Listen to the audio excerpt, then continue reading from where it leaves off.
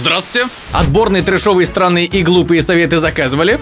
Будет. Ведь я, как всегда, чуть-чуть постарался и в обмен на лайки своих телезрителей жестко подобрал для вас одни из самых странных и чудных советов, что предлагает нам удивительный Первый канал, когда его об этом никто не просил. Ну вы знаете эти классические советчики с федерального ТВ. По утрам, надев часы, не забудьте про трусы. В общем, какайте сидя, лежите лежа, а если вы не Сергей, значит вы Леша. Лех, скажи что-нибудь хоть. Прилип.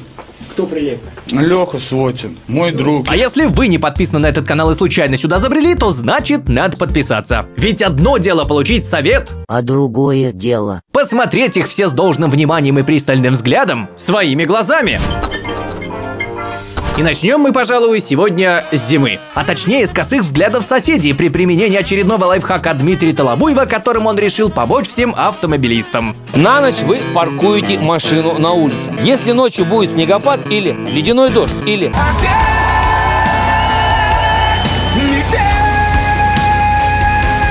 утром с автомобилем придется повозиться. Сказал Дмитрий, сидя в 12-летнем автомобиле ВАЗ-2104, который перестал выпускаться уже в 2012 году. Ведь с такой свежей машиной приходится с утра повозиться ведь только из-за снегопада или ледяного дождя.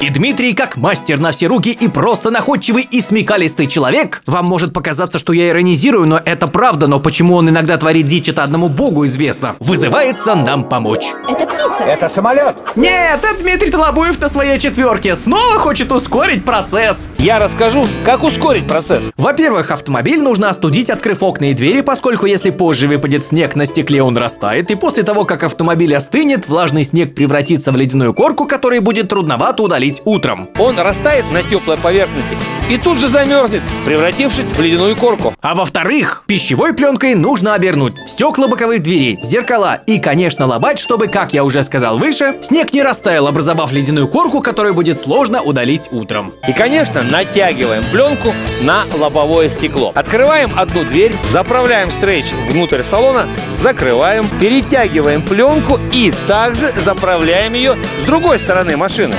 Но пытливый зритель спросит, чего? Мы же машину для этого и остужали, чтобы снег не таял, падая на стекла и не образовывал ледяную корку, которую сложно будет удалить утром. Пленка-то теперь нам тогда зачем, если льда не будет, потому что машину-то мы остудили? Да, Логики в этом сюжете скажем пока. Потому что мало того мы этого того самого, ну, что я уже озвучил выше, так еще и утром, когда теоретически выпадет снег и не застынет на стекле в виде льда, вам все равно придется очищать машину от снега, вам придется снимать пленку со стекла дверей зеркал и дворников, так еще и очень приятным бонусом. В глазах соседей и знакомых вы приобретете характеристику странного чела, который каждый вечер носится вокруг машины с пленкой, обматывая все вокруг, и хорошо, если для вас не вызовут в этот момент наряд. Не зря мы вчера готовились. Машина покрыта коркой льда и снегом. Но если вы не знаете, как выглядит корка льда и снега, Дмитрий Тлабуев вам покажет. Выглядит она примерно вот так, вот так и вот так. И не знаю, как вас, а меня безумно веселит серьезное лицо Дмитрия, который, покидав рыхлого снежка на машину, с ни в чем не повинным лицом изображает пережившего лютую метель, буран, вьюгу, землетрясение и просто конец света от племени Мая в этот злосчастный ледяной дождь. От природных катаклизмов автомобиль не пострадал. Со снежно-ледяной глазурью я справился быстро и эффективно. И да, безусловно, может отчасти в какой-то момент это и поможет. Поскольку ледяные дожди не редкость, и некоторые автовладельцы, если бы знали наперед, что он пойдет, замотали бы правда машину, не только пленкой. Но меня жутко веселит один момент. Когда Дмитрий такой весь довольный и подготовленный подходит утром к машине и говорит. Не зря мы вчера готовились. Только вот, а что если зря? А что, если зря будет все дни зимы, кроме двух или пяти из 90? А что, если снег вообще не будет падать и машине не с чего будет замерзать, но мы бегали все 90 дней вокруг нее, будто он будет падать каждый день? Где мне столько пленки-то взять? Ну да. А чё бы еще не почистить снег после пленки и не повозиться утром, что, видимо, и было целью лайфхака. Если ночью будет снегопад или ледяной дождь, то утром с автомобилем придется повозиться. Ай-яй-яй! А знаете, с чем придется повозиться еще? С полкой, которую вы не хотите покупать. От старого сломанного комода у меня остался прочный выдвижной ящик. Это ж как нужно было ушатать комод, чтобы остался один ящик? Ну да ладно. Смастерю из него оригинальную декоративную полку. Ну, а я что говорил? Слава богу, комод не уцелел. А то, я думаю, вы уже догадались, какой бы нас ждал совет. Ну, вот мы и повесили на стенку комод, чтобы не покупать полку. Понятненько? Пусть уж лучше выдвижной ящик. Наждачной бумагой счищаю неровности. Произносит ведущая, и о лаке на лицевой стороне ящика нам остается только нахрен забыть, поскольку это, как я понял, и была так называемая неровность. Отличный план, чтобы сэкономить на полке 1000 рублей и купить на 200 рублей наждачки. И, кстати, вы когда-нибудь шкурили советский лак до дерева? Попробуйте. И не забудьте после этого прожать под этим видео лайк ногой, поскольку руки после такой работы у вас отвалится, но оно забьется мелкодисперсной пылью и осядет по всей квартире, если у вас нет специального помещения под такие задачи. Конечно же, в отличие от ведущей, у которой не то чтобы грязь на столе не появилась, у нее даже наждачка не запылилась и не стерлась. Это просто чудо господне какое-то, не иначе. При том, что лак, насколько я знаю, можно снять еще и под высокой температурой шпателем, чтобы не испортить дерево и не разводить грязь. Что также не исключено в происходящем действии за кадром, о чем говорят вот эти вот еле заметные, приглядитесь, полосы, оставленные будто от шпателя. А поскольку занаждаченная деревянная поверхность выглядит немного иначе, то у нас, возможно, криминал. И Дело раскрыто! Детектив Коломбо! Покрываю ящик грунтовкой, Чтобы не покупать современную полку, купив грунтовку за 300 рублей. а потом крашу. Чтобы не покупать современную полку за 1000 рублей, купив краску за 200 и кисточку. Прикладываю к дну ящика трафарет с рисунком. Я заранее купила шаблон в магазине. За 200 рублей. Ведь до этого же ты ничего не покупала, правда? Фиксирую пластинку малярной лентой.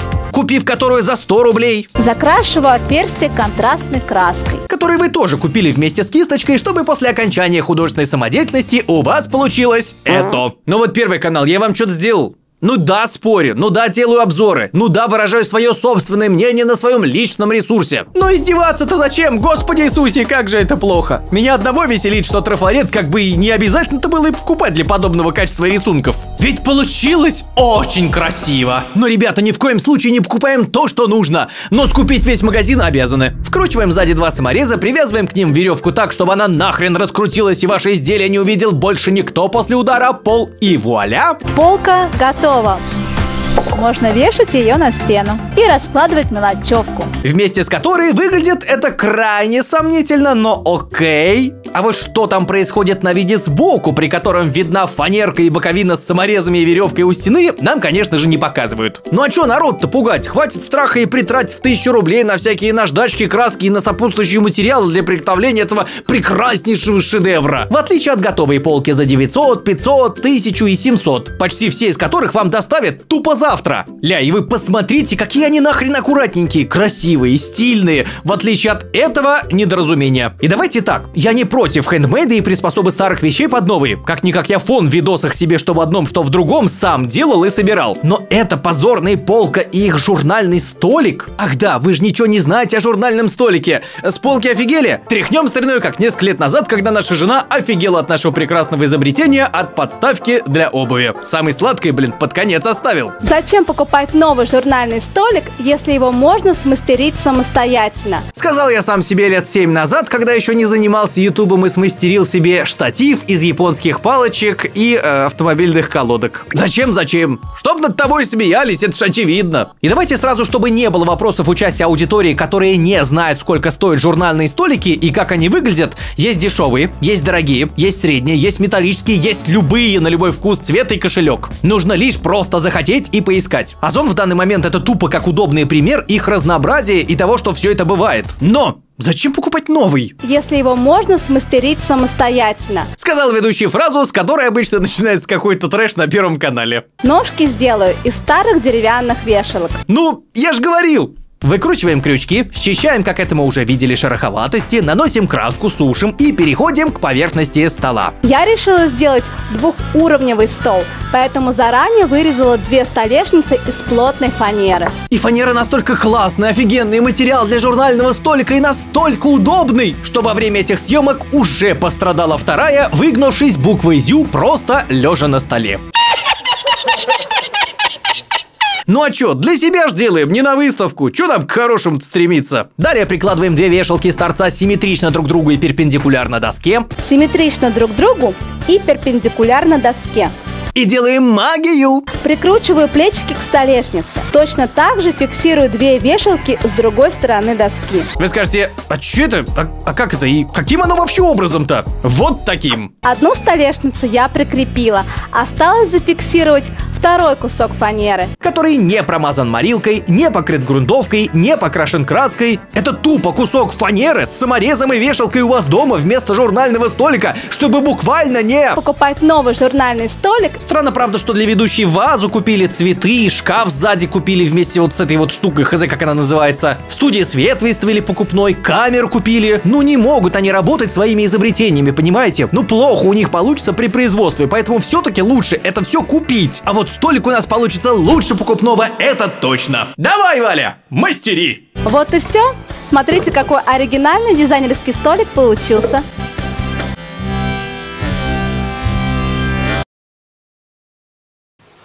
Хотите верьте, хотите не верьте, но это было на самом деле. Да, с каждым советом от Первого канала мы все дальше и дальше и дальше от Бога. Компания «Слепи из говна нет». Мы делаем шедевры. И после этого кто-то всерьез думает, что с нами когда-то свяжутся инопланетяне для того, чтобы рассказать про секреты Вселенной и основу бытия? Да с таким позорищем от Первого канала в 2024 году к нам не только не прилетят, нас стороной будут обходить за миллиард километров, делая вид, что, ну, как бы не замечают этого бомжа, роющегося в помойке, под именем Земля. Да вы серьезно? Хотя стоп, может, они специально для нас советы снимают, чтобы вы не скучали и ставили лайки, а мне было еще сделать для вас обзор? А может, во всем виноват мой масонский ноготь? Смотрите, какой оригинальный дизайнерский столик получился. А собрали мы его из старых вешалок и обрезков фанеры.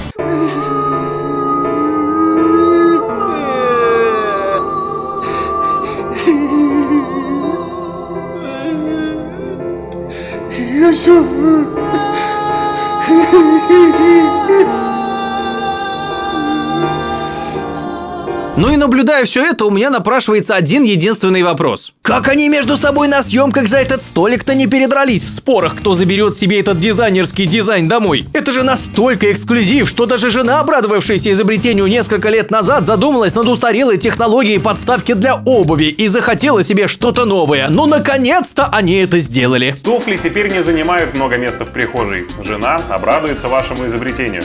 А вот кто обрадуется, получив стикер, оставив комментарий под моим видосом, никто. Из тех, кто не на экране, разумеется. Пиши мне, если выиграл, и не забудь. Подписаться на мой канал, если еще не подписан. Ребят, давайте добьем уже до полмиллиона. Ну сколько это можно уже терпеть? 500 тысяч подписчиков. И сказать, пожалуйста, на мое спасибо за ваш лайк. И запомните, старый друг лучше новых двух столиков, купленных в магазине. Ведь его можно попросить смастерить свой, дизайнерский. А с вами, как всегда, был Джеймс Лоун. Увидимся!